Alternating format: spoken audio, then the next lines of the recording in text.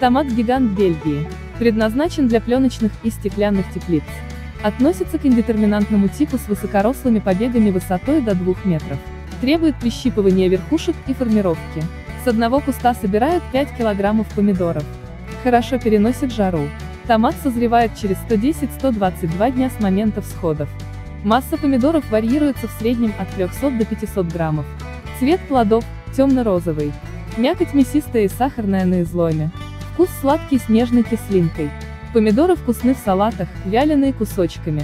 Используются для соков и паст, консервирования дольками и приготовления томатных пюре. На родине из него делают даже вино.